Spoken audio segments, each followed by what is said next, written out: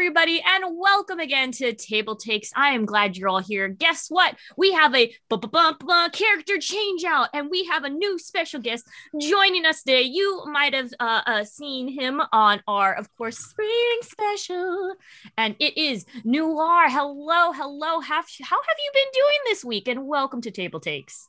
Am I am I not Derek? What happened? They recast Derek. They recast it. Oh man, he's he's gonna beat me up if he sees it. No, hey everybody, yeah, I'm Noir. I'm very glad to be here. yeah, no, it's thank you for for joining us. But yeah, what like so in the beginning, of course, we yes, we like yes. to tell ask people how was your week you know let's let's bring in the news yeah we have to talk about news but how you doing how are you doing me i'm i'm doing all right uh i'm gearing up for gary con uh, I have a I have a one shot to run with my Into the Southlands crew, which includes Gen Con's very own Marcus, who plays the most shredded cat you know.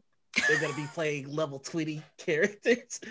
Uh, I've had a pretty productive week. Uh, I've put together a new resume, getting all my information uh, for games I've run and stuff, so that uh, people might want to have me around some more. Oh, that's exciting. Yeah. It's very exciting. Uh, but uh, and and and then yeah, just more exciting news. Yeah, hint hint cough cough kind of thing. But also also Emma, what have you been up to? Oh, have you also been having a productive week? Mm, uh, it's just like spending money, buying stuff. Uh, I broke down just dice. It's just all dice all the way down, oh, nice. and Kickstarters just buying mm-hmm. dice, buying Kickstarters, Dice Envy, which is this company that I get emails from, which so I shouldn't. Good. Gosh, yes, they come right into my email and it's a picture of dice. And I'm like, I shouldn't do this to myself. I'm gonna buy them. Uh, they had the the Spice Must Flow, the desert dice, just uh, a couple days ago, and they're like a metal uh with a shine on them so one way they're like purple shiny and another way they're orange shiny so very, very nice dice. Orange. Um, I like orange. Yeah, and I also have just been. You you should check them out. The the the new dice envy dice. I think you would like them. They're in your style. No, no, I, I, w- I would say that you weren't just spending money. You were uh, contributing uh, to the the the economy. Yeah. Uh, this week, mm-hmm. there you go. I, contributing to the economy. I'm carrying the dice economy on my my shoulders. Emma, capitalism needs those go go bucks. Uh, yeah, but yeah. Now, of course, Isabella, what have you been doing stunningly this week? Huh? Anything? Um, uh, no. um, no, I've been um uh this has been I've had so I have so many deadlines uh to to meet and I haven't been doing any of them. I've been following uh pop culture which has been terrible. I woke up uh, super early this morning to try to get um, some ha- Hello Kitty amiibo cards for my, for my Animal Crossings. Um, and Mr. Target Man uh, spit in my face. Um, so that didn't work out. Um, and then I stood up last night. I watched The Falcon and the Winter Soldier, which was super, super great. Um, I have watched a ton of movies this week. Um, I've done everything except for productivity, except for the things that I was supposed to do. Um, and I have um, I have gout now. I have GERD uh, because I'm I'm so anxious from all of my looming deadlines and the productivity and the oh, acid no. is is rising up um, oh. my throat. So yeah. Um, uh, also, um, there's um, uh, yes I, I, feel like rewording is that you took time to treat yourself this week before yeah. a big headline. There you go. Yeah. There. I, Positive I, spins. Positive I love spins. you, but this was this was this was self-harm. This, was, oh, no. this was totally well, I, I didn't do anything. I have so many deadlines like coming up and uh for the for did y'all know that it's almost April? Um, I can't. I can't. No, oh, yeah, time. No, no, time exists. No, no, I, yeah. just, I hate it. Um, I mean, I my so only question for for the first of April, and so um, yes, I have not been doing any of them. Uh, but I have been consuming a lot of pop culture. If you want to follow me on Twitter, that's all I've been talking about. Talk to me about the Lil Nas X video. I cannot get it out of my head. Uh, if you want to talk to me about K-pop, if you want to talk to me about Falcon and the Winter Soldier, that's all I want to talk about. But also, if you want to cyberbully me and remind me that I have deadlines that are coming up immediately, no, cyberbully, no. please, no cyberbully. please I- bully I- me. Is, were you watching good movies at least? Uh, That's my question. Yeah, I Like, watched what- this what- movie called uh, The Devil All the Time, which I highly, highly recommend. Um, Okay. stars, Um, Tom Holland, Robert Pattinson, and Sebastian. Oh, that's the one where they have the weird southern accents. They, Oh. they do have southern accents. Oh my god. it's it's it's very good. It's very it's a very good. I have thoughts and I'm gonna keep them to myself. You can keep them to yourself.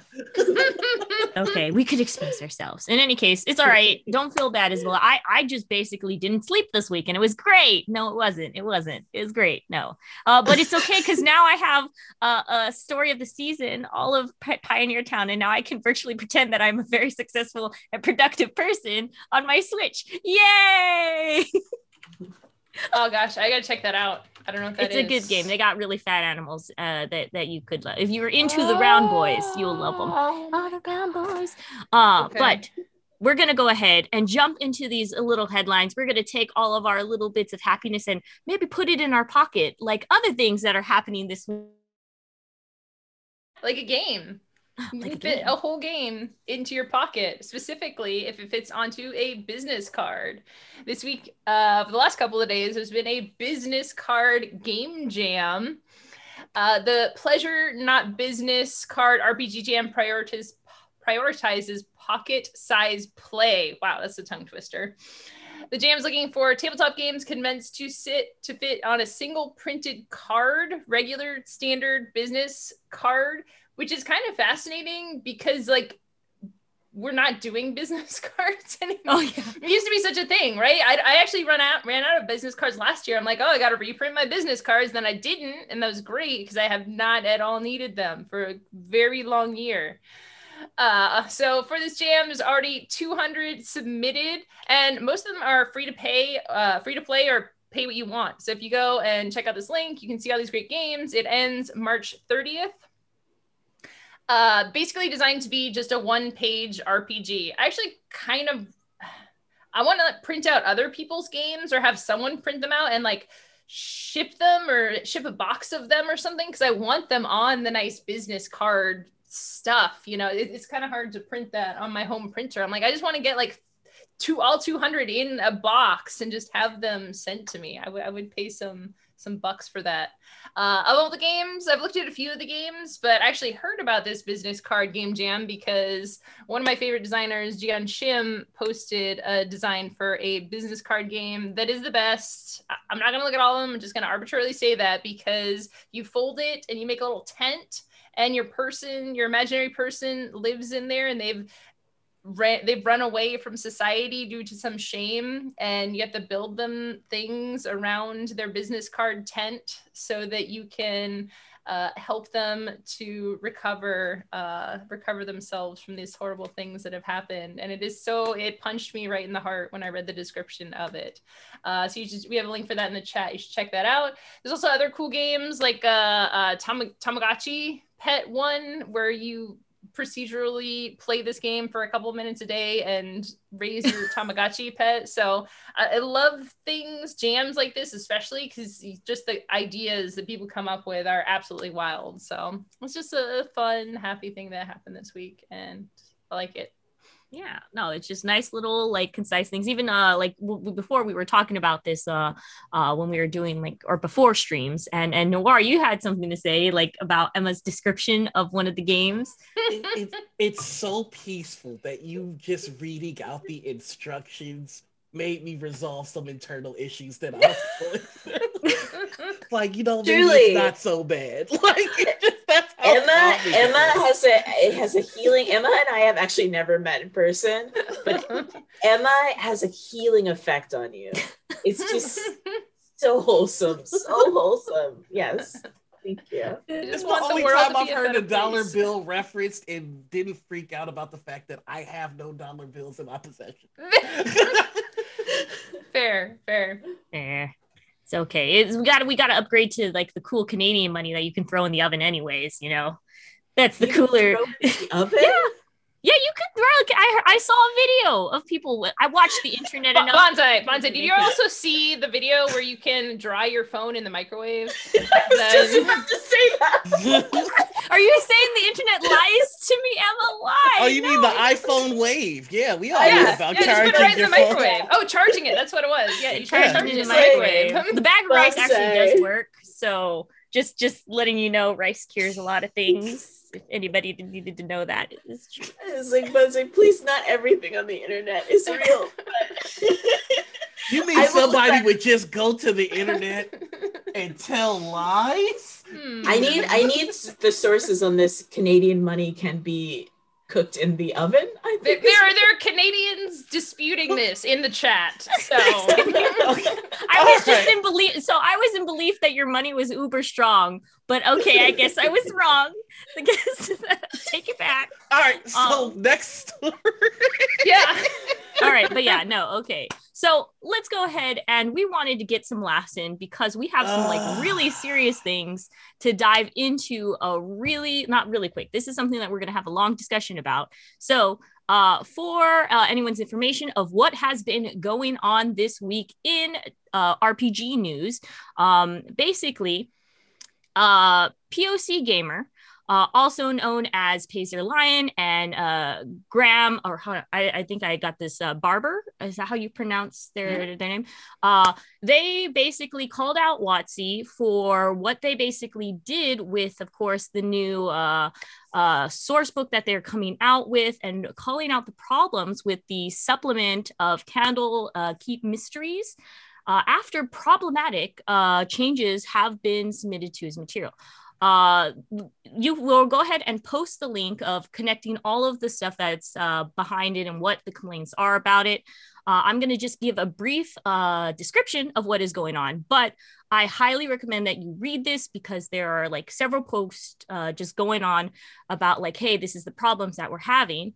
Uh, there's really, uh, to sum it up, three real broad, uh, like three issues, three very main issues. Uh, first, the editor's cut, uh, like basically cut uh, the his like six thousand or six thousand nine hundred and sixty nine uh words, like basically cut a like 1,300 words from the final draft. They uh, did this after making the changes in the initial feedback. Uh, he, like, basically, the understanding between the writer and the editor was that uh, they would be doing a back and forth. And uh, what they thought they submitted as a final draft uh, was not actually, and they did not inform the creator of all the changes that they made. Um, and thus, you know, he went on promoting all of the stuff that he thought was still inside the book for their advertisement and everything, uh, not knowing how much changes they actually made. Uh, secondly, he hoped to use the Avenger to contribute to the Forgotten Realms lore and deepen the lore. All of that uh, that they put as a way to make the lore richer uh, was cut and was not made clear to the creator. Like I said, this is just a very big lack of communication. Uh, lastly, but which is the most important part that we have to uh, address is that uh, so POC Gamer purposely changed a lot of the language that uh, he uses in this to step away from uh, colonious overtones. Uh, this is something that even WotC stated that we're going to try to change in our company.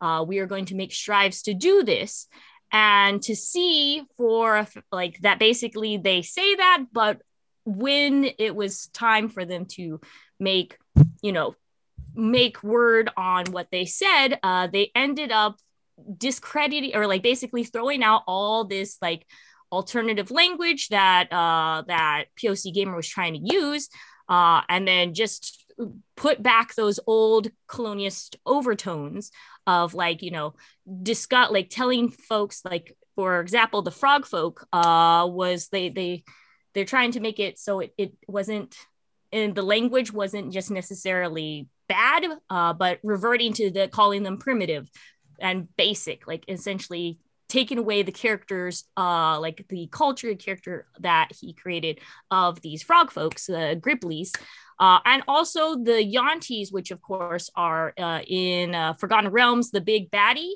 Uh, they tried to uh, like P- PC Gamer tried to take away that whole like evil for the evil sake, which again, WotC was saying that we uh, want to step away from the fact that things aren't just inherently evil because of their uh, like you know race. And uh, it's it's it's very sad at least for me to see that you know they they say this but then their actions at least this is just my opinion their actions are not reflecting uh, the words that they say. And this is what i feel is very problematic. Uh, anybody else want to go ahead and like add on to that point yeah uh yeah it, it just uh there there have been a couple of threads about the follow-up from wizards not being uh the best. Um, uh, that they they haven't, to my knowledge, directly responded to this. Rather, they've been touting the rest of their POC writers, going, uh, "Hey, we can't be." I mean, I'm not not putting words in their mouth, but the, uh, the the the actions um, allude to, "Hey, we can't be that bad. Look how uh, look how other mini POCs we have." and it's just um hiring POC people is great. That's that's like half of the job. Uh, letting giving them the opportunities and the space that they need to be successful. That's the rest of the job, uh, and that is what I personally feel like they're failing at. Uh, and it's not something that they can't do. Um, if this were a Matt Mercer, if this were a Pat Rothfuss, I have no doubts that the editors' edits would be in that person's inbox. So why is it in his inbox? Why is he promoting a work that doesn't exist because Wizard decided that it doesn't get to exist? That's the thing that's upsetting you don't get to have the photo op unless you do the work. And I think that that's something that needs to be established.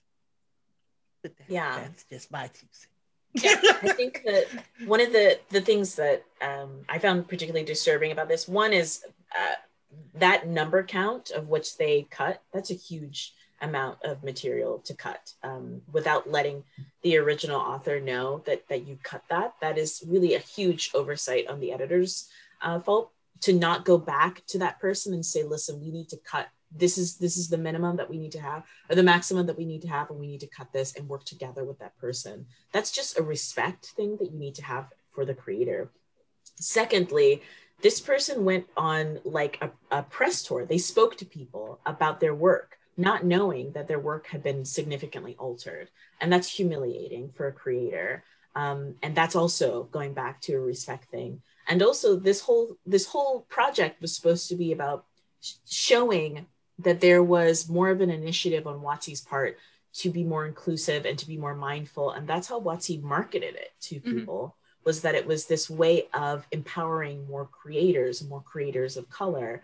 But then to find out on the back end of it that's actually not really what happened. And i think that for a lot of creators of color for a lot of marginalized communities this is very familiar. This is a normal thing that happens uh, where we are sort of like put out in front, um, used for diversity clout, but then behind the scenes, we are disempowered.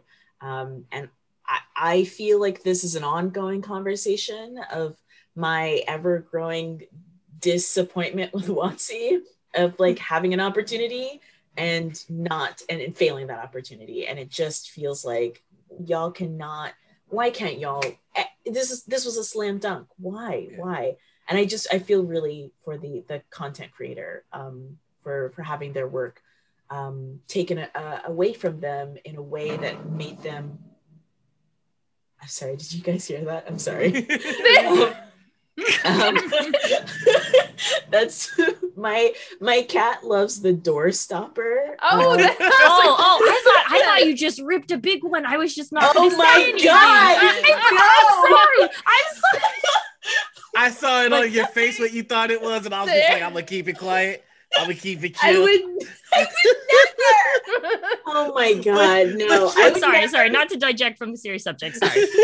so, no, I would also I would never fart on stream. Um, I would I would mute and then I would fart just for the record. Um, no, I'm sorry. My cat's favorite toy is the door stopper. Um, anyway, so yes, that's that's how I feel about about that. Um, this is my fear as as a writer of Hmm. games is to have this happen to me. It's just it's so disrespectful. And, and the last thing that I, I just want to just hop in on is we've got to make sure that we hold them accountable and that our memory is long. If you if you're just getting into this and you see this, I can see how it might not seem like that big of a deal, but when you take this and you remember Orion, who had a laundry list of Yeah. terrible experiences WotC's with WotC, then you you can take a look at what POC Gamer is saying and validate it against what Orion was complaining about. This is not a one-time incident. This is systemic, and this is something that would not happen to a Matt Mercer. This is something that would not happen to a pack uh, uh, to, to any to anybody else with clout. This Mhm. is clearly something that's happening because because of how WotC values freelance POC writers. They're lucky to be in the door. They're lucky to be able to put WotC on their resume, so they should shut shut up. And we can't let that be the standard. Yeah. And just like you said, they they cut something like a quarter of the work and they cut the voice. They, there's the way that POC Gamer is putting it is that it's not as good anymore. It's like you hire someone for their talent, for their unique perspective, and that's what people want. That's the quality. And so people are people will conflate these things. They'll say they'll look at as like, oh well, this person isn't as good of a writer or whatever and that's like that's awful you know for to put them in front of people and then to take their power away that's you're giving them exposure in, in a bad way right? And now people will doubt their work. And it was all like great to start out with. And, and then they have to defend themselves right? It's like well that wasn't what i did. And it's just uh it's very frustrating. Yeah. it, it's just a very huge lack of communication on this part and kind of some things that need to be questioned whether or not these processes are handled fair and especially if you want more folks of course from like all very different types of ethnicities and representations of culture like this is a sign are we going to be respected if we uh, give you our like little project baby you know? And we'll still have uh, yet to see if there is going to be more changes but i really do want to make people aware this is what's going on right now. Please click on the various articles and then also help us by lending your voice and calling it out when these instances happen. Uh, on on that note we're going to go ahead and give you more examples of hey you know what? Uh, especially in this of course stop all hate like start stop the hate against asians we have another thing that just popped up in the gaming community that should have been caught beforehand but Yes. didn't and now we're seeing how people are acting noir please tell us Yes. So Legendary Games uh, has apologized for horrifically tone deaf Asian uh, spell compendium. Um, they they had a spell compendium that included some really outdated and racially tinged language, and uh, uh, HTT Paladin called it out. Um, now, to to Legendary Games credit, they have gone forward and um, they you know they've pulled they've pulled the project. Um, they've taken down all the material that was prob- problematic. They've apologized uh, and gave a list of reasons in detail as to how the material was problematic. And they've delayed upcoming pro- uh, products for cultural review. So those are good healthy steps to fix the problem but I, I, I wanted to talk about the problem uh, just because uh, uh, to me this is a this is another symptom of the same problem which is um, for our previous story, the problem was there are POC in the room, but they're being silenced. In this case, it does not appear that there were POC in the room. Um, you can you can look up the article and see some of the language that was used. It's it's not awesome, um, especially right now. Um, Asian community is facing.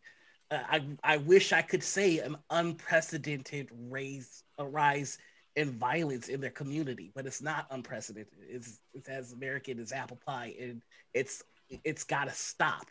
And every every little bit of this kind of ick, every every every thoughtless every thoughtless word that is put into text that is supposed to be legitimized in our scene that adds to the violence that the asian community is facing. And we've got to be more thoughtful. We've got to slow ourselves down. We've got to slow down our projects our profits our production and we've got to start thinking about people um, and that means making sure that if you're working on a project that does hold anything about the asian community you've got to have them present in the room Nobody can speak to their experiences the way that they can. Nobody can tell you what is harmful to them like they can. And going forward with them absent is dangerous, especially right now. So that's my. I mean, I, I think that you know, well, they lost me as soon as they started talking about inspired by the mysteries of the Orient. I was mm. immediately oh, like, I was like, all right, well, yeah. close this window. Um, I I don't. It could not have happened at a worse time. It could yeah. not like in the culture and the zeitgeist uh, for this to to happen. But this is this is goes back to what we were just talking about. This is what happens when you don't have people people of color behind the scenes. Um, I understand that they released a list of the things that they've done wrong and they this sort of recognition of their mistakes. But if you had had people of color, uh, particularly Asian people who were empowered enough uh, in your in your organization to be able to speak up to this, it wouldn't have been an issue in the first place.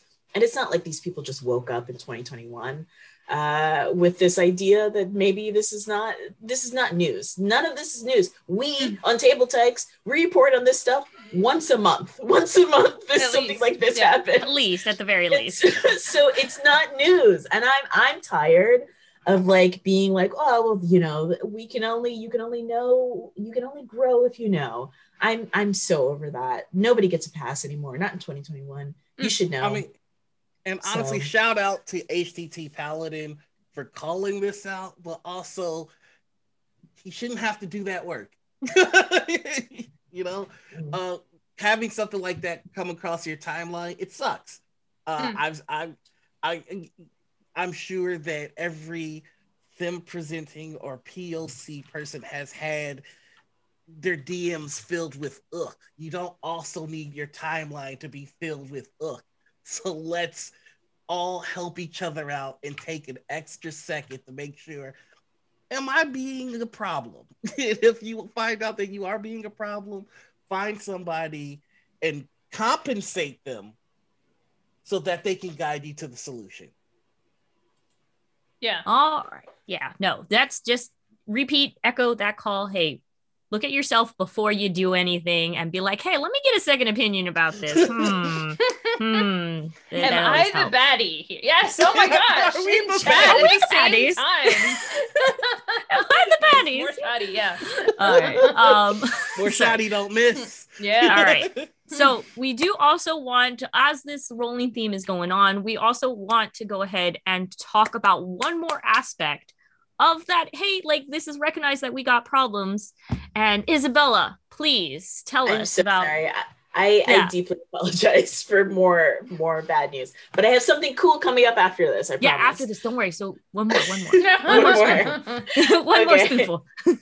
uh, Spencer Campbell, who is an indie designer uh, behind the game Warframe, uh, behind the Warframe inspired RPG frame, canceled his latest project due to online harassment and toxicity. Um, this was really interesting to me uh, because of the fact that this is kind of an ongoing conversation in the community about homages to previous games and the line that exists between an homage and plagiarism, quote unquote. So, Spencer Campbell is an indie designer who had previously designed a TTRPG called Light, which was inspired by the game Destiny this is his other project, his next project after that, which is called Frame, which is inspired by Warframe. Um, the community, when it was released online, um, in there was a Reddit that it was released onto. Uh, there were some complaints about it on the Reddit, uh, of which uh, Campbell responded to immediately, as as far as being like, you know, he didn't really like the response to the release that was happening onto the Reddit post. And apparently, when he launched the Kickstarter, that was when the campaign of harassment happened to him over Twitter, Reddit, and Discord. So he canceled the game completely over um, accusations that he was being um, that he was plagiarizing the original um, IP, of which you know I think that that for me personally, there is no such thing as an original concept. You can pull anything from a previous game. Every game that's coming out now nowadays is inspired by another game. I, mm. I mean, every movie that comes out nowadays is inspired by another movie. To me, this kind of endless kind of back and forth about like, well, this this person stole this from somebody else. It's it's pointless to me, especially because Campbell announced originally that this was already inspired by uh, by by that game. So if he already says it, says, "Listen, this is an homage to this game that I really like," and he brought it to the community of that game, I don't see where their accusations are coming from. But yeah. um, it's a shame because as an indie creator all when you're an indie creator all you're doing is making homages to the games that you like before Mm. Um, and where is the room to allow indie creators to be able to make the homages to the games that they had? I just bought a thing on itch.io. It's like a 10 pack of PlayStation 1 inspired horror games. Uh, and they're all inspired by the play, PlayStation 1's fantastic horror uh, games, but they're new um, and that's that to me is exciting. I, I don't know. It, this was kind of a bummer. I'm sorry. I'm sorry, everybody. no, no, no. It's it's perfectly reasonable. Like so, this is. I think this is more of a bigger understanding of like uh like a lot of times uh when we deal with a lot of board games and a lot of like like very indie like RPGs a lot of times yeah there are a lot of games that we go ahead and say oh yeah this isn't this game that is very much like you know uh, this other game but but it is an homage. And and a lot of times a lot of communities especially if they're not wrapped in a like a very very like like their personalities and wrapped within this individual game they understand and they they like oh yeah we like it. You were you're stating the fact and you're not hiding that you are using this as an inspiration. A lot of like a lot of people in the community will love it. I think it's more or less is that you can get this obsessive community mm-hmm. that wraps their whole entire personality, who they are, and such around a particular IP.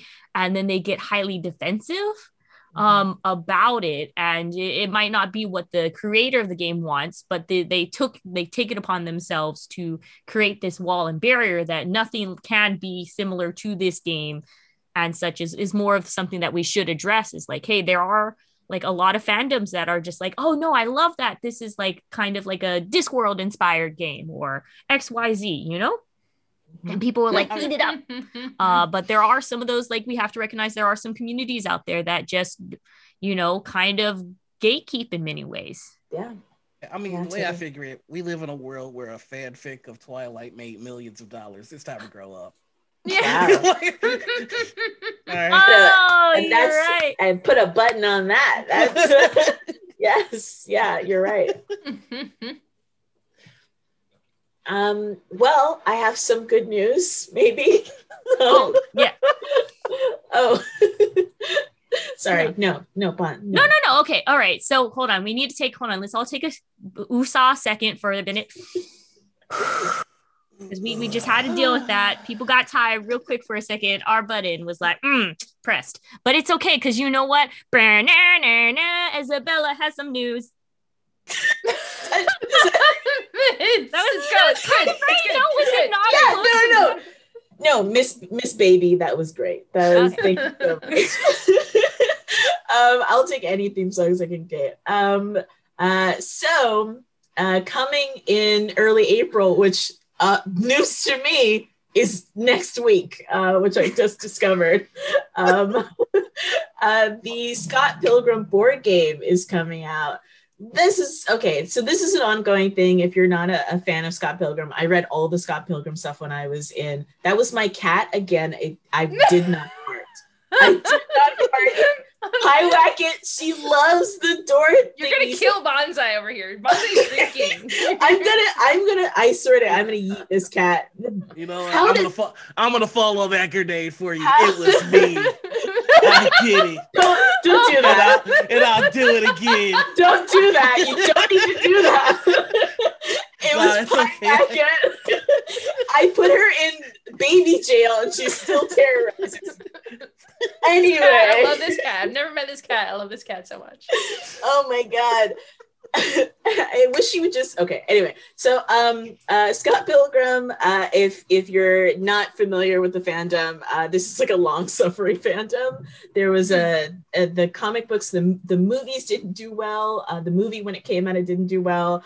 Uh, the the comic books have kind of gone in and out of popularity. Um, uh, there was a video game. The video game got shut down before it was. There's been the Scott Pilgrim community, uh, of which I was huge into uh, in the early 2000s when I had skinny jeans and I was listening to Panic at the Disco. Um, it's it's long suffering, and I'm very excited to say that the board game uh, is coming out. There's a there was a Kickstarter in 2019. Um, uh, and uh, this uh, came out, it was successful due to the community and uh, uh, which resulted in over $233,000 being raised uh, by, by backers. and then there was um, criticism that happened after that, and then that got shut down. It's a it's a mess.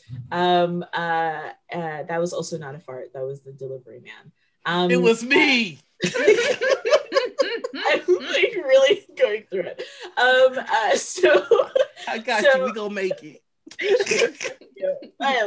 um, so yes, it's it's um two to four players. Uh, you have minis that are really cool. Uh, it looks just like the Scott Pilgrim uh, uh art that you're familiar with. Uh, and I feel like this is finally a win for us in the community who just can't seem to catch a break. It seems like Scott Pilgrim fans just keep getting blow after blow, but we're still here. Still, still liking our stuff, um, and I feel like one of these days we're like the DC fans of of the of the nerd community. We'll take any small small win that we can get, and this is a teeny tiny win for us. So yeah, early April, uh, it's it's going to be coming out, and I'm very excited about that. Uh, it looks um, super cute. So yeah, good for us. One for the Scott Pilgrim fans. Yes. And on that note, we left you with a nice, happy, happy, nice little cookie after all all that cookie to look forward to after all of that really really real news but it's okay because now that derek is away bam, bam, bam, bam, noir is here to play with the bundle boss yeah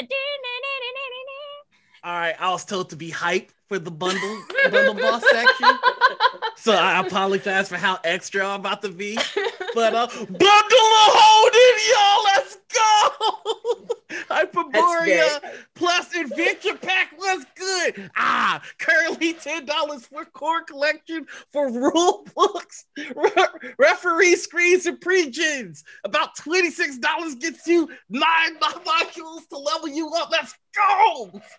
I'm just imagining the bears being good while I do this. All right, this Hyperborea bundle presents this astonishing swordsman and sorcerers of Hyperborea tabletop fantasy role playing game from Northwind Adventures. The vividly dangerous edge of the world Hyperborea campaign setting takes inspiration from the sword and sorcery weird fiction of Robert E. Howard, Clark Ashton Smith, Michael Moorcock, not mature enough to say that without chuckling, and many others, capturing the spirit of the original D&D and AD&D rule sets, including THAC0. I just made that last part up. I don't know if it's true. uh, OSR RPG set uh, is in a world that's very similar to Conan the Angry Fighter. And that's the bundle, boss. Bundles. Thank wow. you very much. I was like, I'm like the applause. I get the applause. That was Derek my time. Is, Derek is fired. Derek never yeah, gets fired out of energy ever. it's okay because we we have officially totally kicked out Derek, and now we have uh uh join uh as uh Kickstarter court. We are uh forming we a Kickstarter union. This is the Kickstarter union now, and uh and I, we'll I am become Derek. So now, yes, we are now starting the Kickstarter Union, uh, no longer court, and we are going to start that out, of course, noir. Yes. So I am very, very, very, very excited to tell you all about the Darkest House. Uh, there's about seven days left. Uh, this Kickstarter is going to be over in April uh, April second, uh, which as Isabella has discovered this next week. the Darkest House is a tabletop role playing game that's been designed from the ground up to be a digital experience. There's not going to be a physical rule book for this game. Uh, it's compatible with games that you're already playing. In fact, it's made specifically for that. And that's because the Darkest House derives its horror from bonds, backstories, ideals, loves, fears, and your existing characters. Uh, it has its very own house system that will allow you to bring characters from other uh, from other uh, settings and rule sets, like you're powered by the apocalypse, your fifth edition, your Pathfinder, your Pathfinder, and in about five minutes you'll be able to bring them into the house system and have them go through this this adventure, which is a creepy dark like Stephen Kingish like experience that really plays with their concepts of uh like abstract ideas like it really messes with it really is it's it's like uh it's one of those uh what what what what do we call them like it's like a psychic horror kind of deal mm. that that really puts your hero characters through the ringers. You're not going to be able to fireball your way out of these situations. These are situations that are prompts for role playing experiences. Uh, and that really, I, I think that's going to be something that's really cool. I, for one, can't wait to have some of my Powered by the Apocalypse characters meet and play with my fifth edition characters. Uh, and if you want to get started on taking a look at that, of course, you can go over to the Kickstarter uh, and support them that way. But they also have a demo out right now. So you can get a few of the rooms already uh, and see what you're in for. Now, unfortunately, the house system is not part of that demo. So you're not going to be able to bring your characters over. That's something that you're going to get when you take part in the Kickstarter but this is going to be something that I think is going to be extremely cool. And it works with all of your favorite virtual tabletops. So if you're a Roll20 person like myself, this is going to work perfect for you. If you're a Foundry, that works for you as well. But this entire system has been built for a digital online experience and it's going to be something else yeah, so that's uh that's what I have on the darkest house. Uh, mainly, I'm just looking forward to scaring the absolute pants off of my players. oh no. now, I I do have uh, another Kickstarter here that I'm excited about in conjunction with the darkest house, and that's going to be Pixels, the electric dice. Um, they're perfectly smooth, just like regular dice, except like like gamers do, you got LEDs in them and they're programmable. uh, there's a companion app that comes with the Pixels uh, electric dice.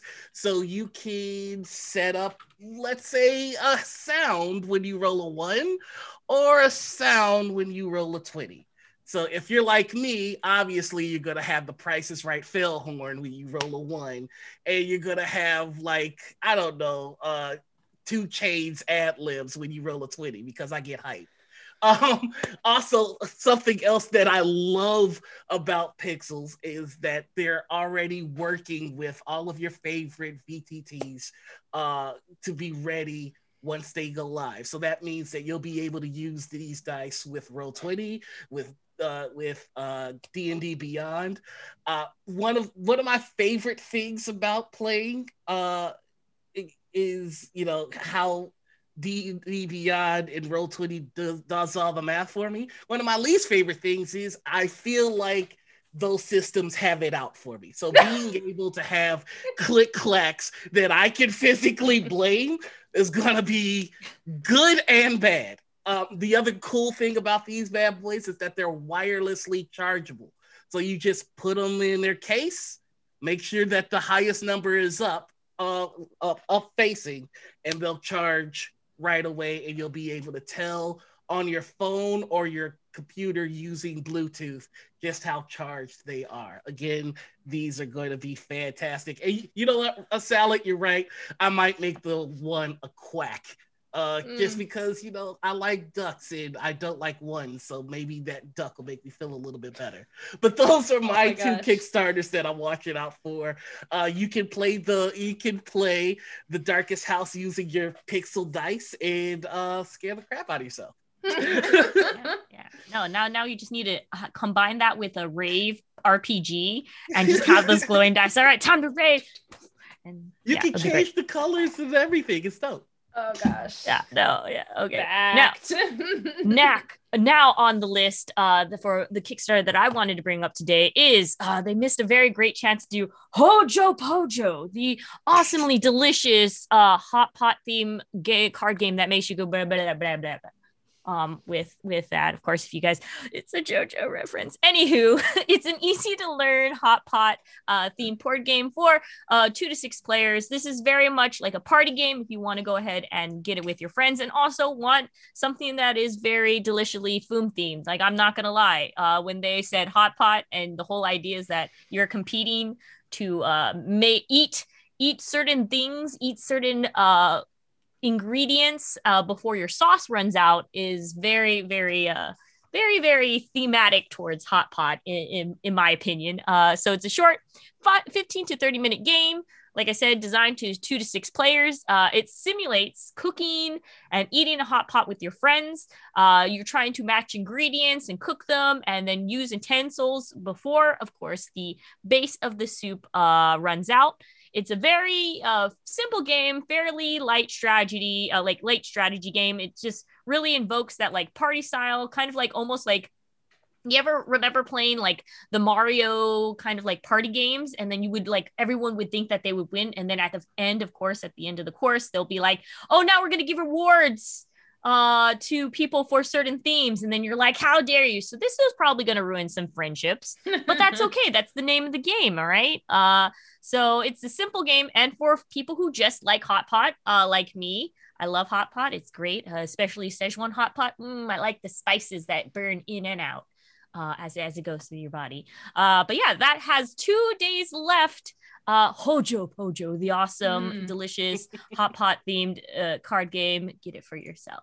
Wait, do your JoJo thing again. Oh, the Hojo Pojo. Blah, blah, blah, blah, blah, blah,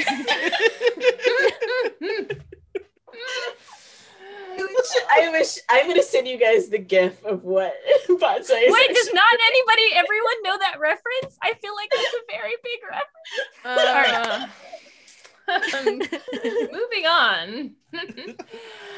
Next up, we have 2020 2022 Quest Calendar, an adventure a day RPG with three days left ending March 30th. Uh, it's a role playing calendar taking you on a journey with a quest a day in 2022. Playtime is one to three minutes per day. What excited me about this game is uh, I've had this idea in my head for a long time of a slow time strategy game instead of real time strategy or turn based strategy. It's this uh, kind of strategy you play out over a number of days. The one of the business card games we talked about was kind of like this as well. Uh, so yeah, I've been dis- discussing this with my husband about how do we make this thing that you interact with every day, and we both thought the calendar thing was super clever. Uh, in the beginning of the calendar, you're going to choose a character to play for the remainder of the journey. It's a solo adventure, but if you have multiple people in your house, you can play it together, or you can have multiple and have characters playing in parallel. Uh, so you're just going to be going through the pages of it and doing a little bit in it every day. It's going to last for an entire year. So I just think this is an incredibly clever game design. I'm excited to see how it feels, how it plays. So if all that sounds cool to you, you should check out the 2022 Quest calendar and play your RPG solo for an entire year every day. Sounds fun. Yay. Um, I have two more uh, Kickstarters that I thought were really cool. This one is called So You've Been Eaten. Uh, with three days left, ending on March uh, 30th. And this is a game uh, basically where you play a, uh, you could play either a beast or you could play a miner, and you're a miner who's been eaten. You've been eaten by a beast, and you basically have to. You could play either as the beast who's eaten or as a miner who has been eaten, um, and you either have to figure out once you're inside of the guts of the beast how you're going to be getting out of the game or you play as a beast who has to figure out how to digest this person faster and quicker. Uh, it's an asymmetrical game so you two are kind of playing so that uh, one player will have to try to outsmart and make difficult choices for the other player or you can play against the game as well. This looked really cute. It's very fun. Uh, there's a video game of what the name of it is? That's a great question because I forgot it. Um, that reminded me a lot of this game. Uh, and I'm very, uh, this looks really, really cute. Uh, and I like the idea that you uh, get to try to play to increase um, your health and your bacteria that's in your guts because healthy bacteria equals good good health overall. And now I have another game that uh, is completely different from this. This one is called Fleur, Fleur, Floriferous. Yes, I got it. I got it. I got it. Nine days left, ending on April 5th. And this game is a flower arrangement game. Um, I loved the idea of this. I'm very surprised that Emma did not take this away from me because it's such an Emma game. it's so it is very pretty. it's very pretty. And it's a game where you are taking a stroll through a garden and you're trying to put together the different kinds of flowers um, uh, that uh, will make a beautiful arrangement. And so you can pick flowers. Uh, you can also uh, pick different kinds of um, statues and different kinds of things. And then you can also do different sorts of things like bees. You can you can get different animals that will kind of like help you uh, to make a more beautiful arrangement. And by the end of it, you're just trying to win uh, whoever has the most uh, um, attractive and beautiful arrangement. I, I think that this is a really great game because the fact that like we just need to relax right now. We just everybody relax. This is not a competitive game. You're everybody's a winner at the end of this because we all get to look at beautiful art. Um, and this is just a game where like at the end of it, honestly, I really wanted to to buy this game because I think that my grandmother would actually really like this game. Uh, uh, my nana loves board games, uh, and I feel like this is just a nice, relaxing game that I could play with Nana um, after she yells at the television.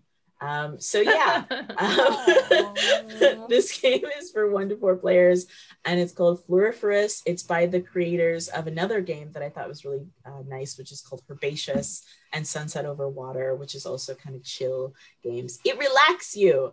Um, so yes, uh, and if you pledge early, then you get the uh, mini expansion for free. So yeah, buy that, relax, take care of yourself, drink some water, um, and plant some flowers for the bees. That's it. For the bees. for the and then with that note, see, look at that. Isabella coming in with the cleanser. This whole stream. Cleanser, Isabella the cleansing. But yes, all right, folks. But hey, stick around really quick because we're going to have a five minute break and we're going to switch over because uh, Isabella and Noir are going to be interviewing Nerdburger Games. Nom, nom, nom. We're going to take a bite out of this Nerdburger Games and tell you all about that really cool stuff about it. Uh, uh, Craig Campbell, sorry, Craig Campbell is coming in about capers, and I think you guys are going to enjoy it. So uh, we're gonna just give us a five minute break, really quick, and we're gonna suddenly get sucked into different dimensions and different portals, of course. And just hold on tight, folks. Five. And hello, everybody, and we're back with Greg Campbell to discuss all things capers, and I am very, very excited to get this underway. I, I'm, this is so my style. It's not even funny. So we should start with the basics. Hi, how are you? How you doing today? I'm good. How are you? How are, how are both of you? Good, good. We, we talked about this um, before, and Noir and I had talked about it. We gushed about how much we love uh, the the game and how excited we are to buy fancy cosplay and smoke cigars. cigars, the hat, the whole thing. Flapper dresses, gangster suits, Tommy guns. Oh, the, good stuff. The whole shebang. Uh, but before we get too deep into nerding out, which we will do, uh, we should ask you a few questions about yourself. Uh, sure. Uh, how long have you been playing and GMing and doing all of the TTRPG stuff? Oh boy, I've been playing and GMing for 30 years. Um, started in D&D and then kind of rolled into all sorts of other games. Um, you know, dipped my toe for an extended period in uh, the storyteller games, Vampire and, and uh, Mage and Changeling. Um, and then just kind of, you know, bounced around to a lot of things. It's, it's kind of D&D's been there a lot, but I've jumped into other things. My favorite game of all time is Deadlands. I ran um, a lot of Deadlands um, when that first came out. Um, I started designing um, like in, in a professional sense, that is to say, like actual assignments and, and publishing things here and there, um, like 20 years ago, but it was real spotty, um, just kind of a little something here and there. And then it was really about seven or eight years ago that my freelancing really kicked up. I did a lot of writing um, and design work for um, D- uh, D&D during fourth edition with the mm-hmm. uh, online magazines. And then about uh, five years ago, started into like deciding, hey, I'm a sucker. I'll design my own game. Can't be that hard, right? and uh, started designing games and uh, created Nerdburger games and have been doing that. That's been I, I, freelance occasionally here and there, but mostly it's Nerdburger stuff. So I, I have I have got to ask, what goes into making that choice? The choice to I'm gonna make a whole game because that's that's a lot, man. well, it was basically I had freelanced a lot for D&D and, and a smattering of other um, companies and games. And then if you recall, like kind of toward the end of fourth edition D&D, um, their product schedule slowed out. Like, like, they stopped doing crunchy books. They, there was a lot of uh, kind of flavorful um, lore books, and their uh, magazine schedule kind of changed focus quite a bit. And they weren't bringing freelance stuff into the magazines as much. So suddenly, I my, like all my freelancing that I loved doing um, wasn't really there anymore. So I had like I ah. can I could do one of three things. I could wait wait it out and wait for the new edition to come. Um, I could seek out other games and kind of bolster and, and, and fill in with other stuff, or I could decide to you know just just give it a shot and design my own game. So I gave it a shot. Heck yeah! I, I mean, here we are. So in in the how many other games have you actually done with Nerdburger? Is this oh, one of the crap. Um, okay, so in order, there's there's murders and acquisitions, capers, three three full supplements for that, a whole bunch of other accessories and supplements and things. Die Laughing, which is a small a smaller scale game. Um, Good Strong Hands, which is printing right now oh. and will publish soon. And then I did two zine games for Zine Quest 3 here this past uh, February, one of which is out called Low Stakes, and one of which is just about ready to go out. I've just got to get a proof copy and make sure it looks good. Okay, um, you so hit the ground running. What, what is that like nine or ten? Or, good, good. I mean, that's awesome. No, including, I mean, like, including supplements. Yeah, that's really like for for only starting it up five years ago. That is really incredible. Like that you since you already had so much of a background in doing uh, freelance work it sounds like you had a lot of the skills to start doing it. It seems like it's a natural kind of progression as a fan to move into somebody who wants to start producing things. And it, it involves moving from not just being a designer to but to also being a developer and a publisher. And um, you know i had the whole process of doing the first game which took a long time um, I, I, spent a long time developing it uh, because I was I wasn't on a schedule. Like I had like it was it was all for fun. I was just doing it in my free time, and so as I went along, I learned all the other things where I like okay now I have to learn how to talk to a graphic designer and try to get a, a nice game you know title logo done, and I need to do uh, be become an art director and convey my uh, world to an artist and um, and learn how to you know put put together a website and uh, you know, and put together all the stuff for, to publish on DriveThruRPG and create PDFs and all that stuff. So there's a lot of hats, but it was I was able to do it just kind of little pieces at a time. It wasn't like I suddenly like spent a, a, hard down month and became a publisher. so I've got to ask, what was the most frustrating hat to put on? What was the hat that you're like, screw this hat? I'm never oh, wearing this hat again if I don't have to. Boy. Um, the hardest one to kind of learn, I, for me, I thought I felt like was um, learning how to art direct, mm-hmm. um, because I have a hard time like conceptualizing and putting into words and, and kind of conveying my process and how I develop something and everything. Like I sometimes have difficulty with that, and so now I'm talking to an artist who is like a magician artists are wizards as far as i'm concerned. When i see when i see people post their time lapse of like making this beautiful piece of art i'm like that is that might as well be wizardry.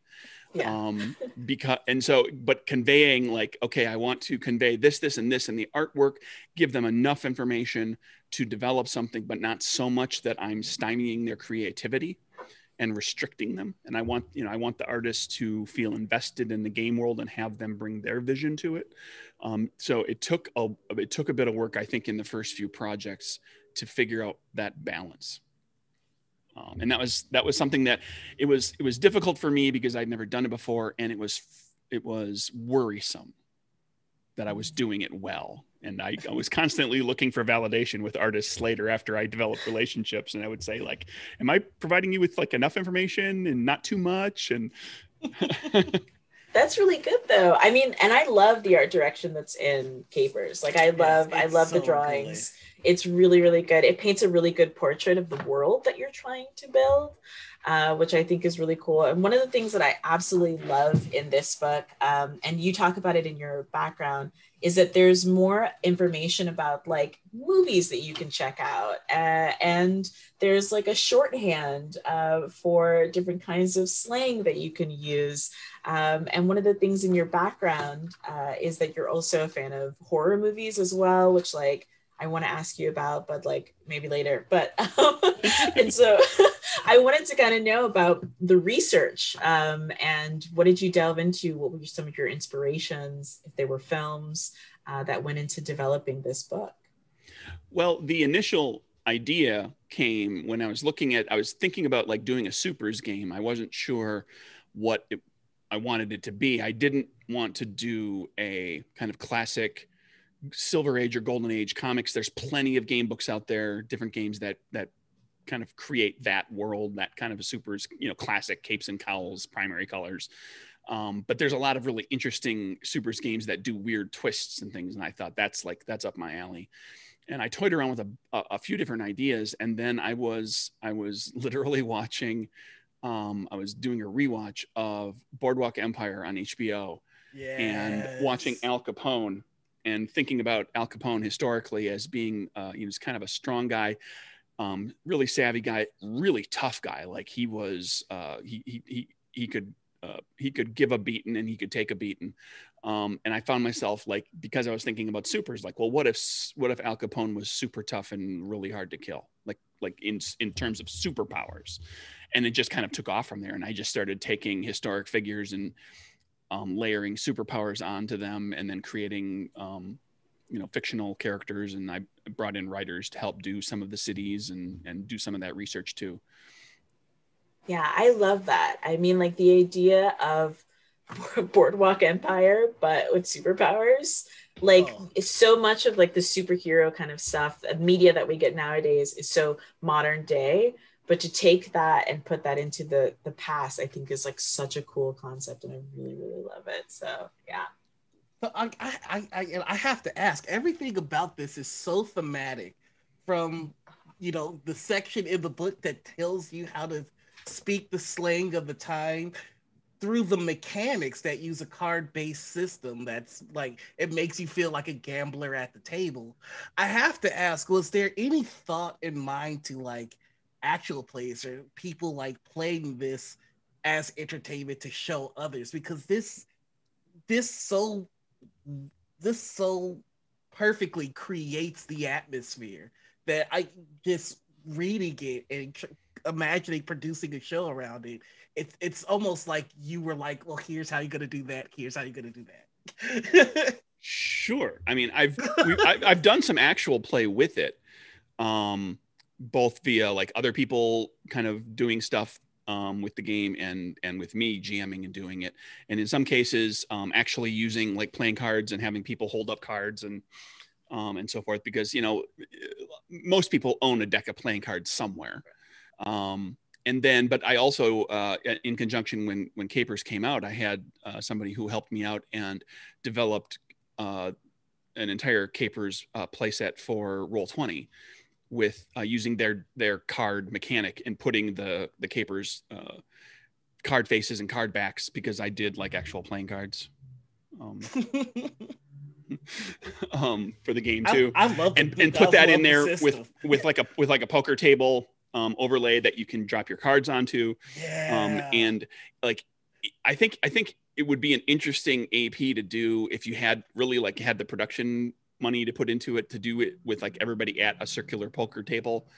Um, with actual chips and cards on the table you have to you know like it would that's the dream right is like a multi-camera heavily edited kind of deal where you've got like you know you're looking at different people from different angles and you're getting to see like people um, because there's a there's a currency in the game called Moxie that you can use poker chips to represent, and um, that'd be great. Uh, but it, it would be pricey to produce something like that. Oh, I mean, it, it, it, it's begging to happen. Somebody's got to get on it because it's just it's so well rounded in this. It you not you not only do such an amazing job of having the mechanics play into the themes, but there's so much world building in this. There's uh, Atlantic City, which is nice, but also Chicago. What's up? So, so I'm just it, it's all very exciting. You know, I, I was just curious if that was on your mind at all when you were designing. um, well, the the three big cities that get the, the the the big write up are Atlantic City, New York, and Chicago, and that kind of came out of Boardwalk Empire. Those were the three hub cities that the show focused on. So there's a lot. It, just made it easy for me, right? And it and each of those cities is kind of different. Like Chicago, there's like it's a war zone. There's different gangs that are fighting with each other. New York is like has a has a hundreds of different um, gangs that are kind of holding this precarious balance of power. Um, and then Atlantic City is like all run by one guy. Um, and so it was it, it allowed me to generate um, like three different kind of three different settings in the same world. Like you can have like you know like you, you can have it where you're just dealing with the one boss. You can have it where there's like all these kind of tenuous uh, relationships between people or you can have it where it's it's just tommy guns and fireballs in the street um, in chicago and then there's there's like little one page write ups of a whole bunch of other cities that you can gives you uh, the a jumping off point if you want to develop that city or a way to just take characters on the road for a bit. Yeah, I thought that was really cool. Um, one of the things that I also thought was really cool is that there's kind of like there's more of an expansion of the world. Like we know that the 1920s America wasn't the most inclusive environment, but you um, uh, you really expanded. It, you put new twists on different characters so that it feels more inclusive for every kind of person to to kind of join and play this game. And I wanted to know um, was it intentional on your part? And how do you feel about making those kinds of changes to this world? Well, it's definitely an alternate history sort of game. Um, it runs on the assumption that yes, there are different races and genders and uh, sexual orientations and so forth, but the game is in a set in a world where that's less of an issue. Um, and the the conflict is like what arises out of um, prohibition and um, gambling and uh, alcohol sales and production and so forth. Um, and that's not to say that you couldn't incorporate those kind of real world social issues into your game. The game just doesn't paint you into that corner and and and and build itself out that way. Um, and it was very intentional to do that. Um, I mean, I, I did you know ethnicity swaps and gender flips and things for some of the for some of the uh, for some of the characters just because I thought it would be fun to kind of give it a different twist. And then there were um, you know historic characters that are pulled um, who are not. For example, um, uh, Italian, Irish, and Jewish guys in their 20s and 30s, which is uh, like what a lot of people know prohibition to yeah. be. And then so, so, some of them are pulled specifically historic characters, and then some are just uh, you know works of fiction to kind of fill out roles that were necessary to uh, kind of make each city interesting. Yeah, and I love that because it's like you're giving them superpowers. Like we're already on another side of it. like we're already in a, a, fictional alternative universe. So like why not also kind of expand it? And I think that that makes it so that people of all different kinds of backgrounds can join the game easier. So I I love it. I think it's great. I wanted people to open the book up and and if they read up on some NPCs or they see some artwork, they're going to see someone that reminds them of them somewhere yeah. in the book. I was, I mean, I was just about to call that out. Uh, shout out to Beth Varney, who did a fantastic job on the illustrations here. Uh, everybody is in this book, which is just amazing. Uh, you, you can't open a page and, and not see yourself in it. So that's, I, I really did appreciate that. Uh, so I, I would have to say how would what what is your elevator pitch for capers for somebody who's never heard of it before? Like, what's your what's your this is why you should play it right now. All right. Capers is a superpowered RPG of gangsters in the roaring 20s. It uses a playing card press your luck mechanic rather than dice, which turns every cha- trait check into a gambling game. Um, you know you can flip more cards and hope to succeed um, uh, and succeed better than what the first card flips or you can end up failing um, and uh, you know that that's that's the kind of the core pitch to it all. And then and yeah. then you know once when people start asking questions then it's like you know and there's supplements that do this and there's like this is what the world is like and if if i'm in the if I'm, if I'm in the elevator i'm buying i do have to say there are so many powers in this. Like there are so and there's some weird ones too like honestly. Um, what are some of your what are some of your favorites though greg? What are some of your favorites well powers? i love all my babies equally um, of course, of course. But I, I am particularly proud of of like from the core book from a, of a power that I know I get a lot of compliments on too because it's just something that you don't see. And there's a power called probability manipulation. Mm. Um, it's a power that Lucky Luciano has. Um, and you, of course, can take it for your character. And it's built entirely around manipulating the top of your or someone else's playing card deck. So you can take a look at the card and decide, oh, I like that card. I'm going to leave that there. Oh, I don't like that card. I'm going to I'm going to discard it. Um, you could, you know, there's there are different variations of that power that allow you to basically f- see whether or not you or someone else is going to be successful in the next thing you attempt. That is that is what I'm talking about. Thank you. There's it. One, the powers are so varied and different, and two, because we're not just using dice, they're represented in such a cool way that it's just like it feels like somebody's reaching across and touching my deck and cheating, but you know you can't do anything about it. So, uh, do you have plans for more caper supplements? And can we get a sneak?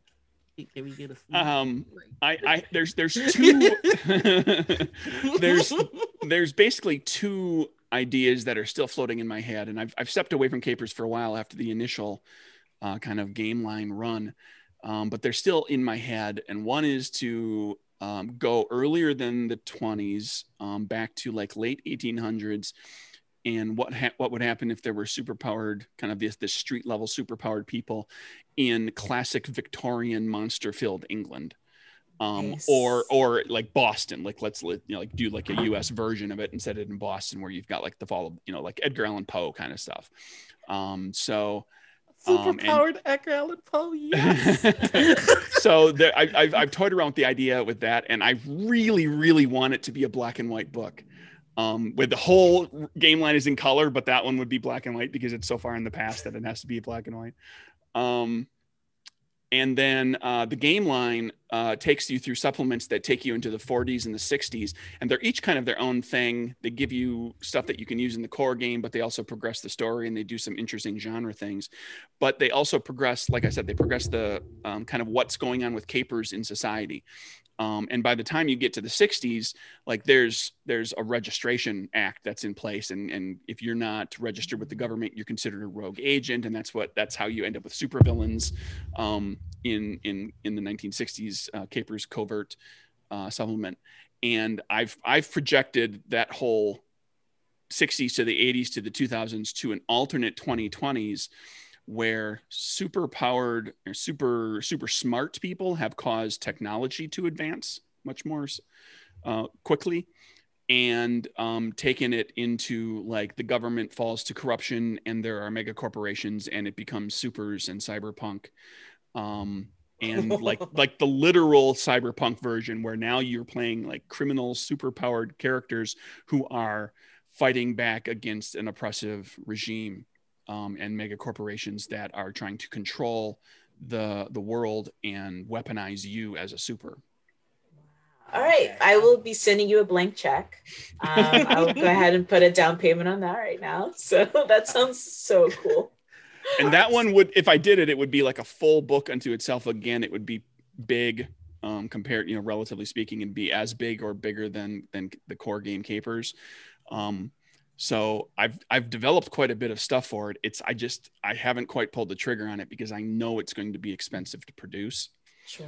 um, just because of the size of the thing. So that makes it riskier. So I have to find kind of the right time to do it. And I think the right time is not until we get out of the COVID thing. Yeah. Um, and Yeah. and it because that tends to tighten up people's wallets a little bit. Um, Sure. uh, so I, I We'll see. I'm hoping. well, kind of speaking of the the future, uh, the bright future that we're all we're all gonna get to. It's we're gonna get through this. Um, I just wanted to know about like any places that people can look for your future work or any things that you wanted to talk about uh, that you're that you've worked on before uh, that you would like for people to check out. Um, well, there's a you can go to drivethrurpg.com. There's all the games and everything are there. Um, if you want the fancy schmancy version of Capers, that's on the web at my web store because uh, you can't get it in conventions right now, but eventually you will be able to. Um, I'm uh, right now.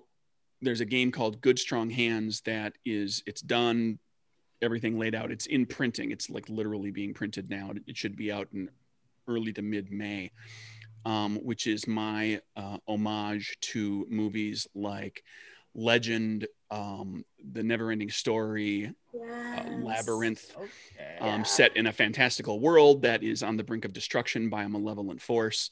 Um, and you are there to save it again because Wow. this force comes back and tries to eat the world. Um, every couple hundred years and so you're you're you're working to save that so oh my god, those are my favorite movies growing up. So that's awesome. Yeah, that It- sounds so cool. I like to joke that um, the scene with Artax in the swamp in Neverending Story I affected was me just about the reference affected me affected me so deeply Oh no. that- that It's about to be yeah I know it, it elicits a reaction from people who have seen the movie yeah. um, but it, it affected me so deeply that I decades later created a game where I can save Artax this time okay. Aw. I was just about to be like, "Don't you kill my horse, Greg? Don't you kill my horse?" no save the horse That sounds awesome. Well, I'm really excited about that. Thank you so much, Greg, for coming on and talking to us uh, about this. Uh, it was a pleasure to have you. Please come back again uh, to uh, Sure. to join us again uh, for your next project. um, and uh, listen to my tears as I try to save my horse. Um, so. Please make it easy. Please make it easy to save the horse. I roll terribly. well, we still have some more stuff uh, coming up for you guys after this. Uh, Noir, since you're a special guest of honor, do you want to give us our outro? Absolutely. So everyone, uh, please uh, stick around. Uh, we have uh, coming up. Oh, I, actually, so, so, sorry, I skipped ahead there. Uh, but we do have uh, coming up on Monday Disney's Villainous Tournament, uh, night three. Uh, that's going to be at 4 p.m. At 6 p.m., we have board games with the Brothers Murphy on Wednesdays at 1.30. We have The Game Gets Dicey playing Abandon All Artichokes. I, I don't know what that is, but I want to play it. And then Friday at 2 p.m., uh, Table Takes again. Uh, and Derek will look a lot like himself again. uh, please remember to follow and subscribe, turn on your notifications so that you can see when we are on. And if you miss the show, you can find most of our streams up on YouTube just one day later. Uh, and if you want to connect with other Gen Con fans, check out our official Discord. Uh, thank you all for watching. Uh, thank you all for having me. Thank you, Greg Campbell, uh, for coming and making this dope book. It, I just can't wait. Uh, uh, and uh, thank you, Isabella, for like helping me through this because I am stumbling my way through this octo, but we almost you got, it. it. You got it. I'm here. I'm supporting you. We got it. We got it. it's the home. It's the home stretch. Noir. We can do it. We, we can right, do it. All right. All right. Thank you, Emma. Thank you, Banzai. Thank you, Bella. We're out.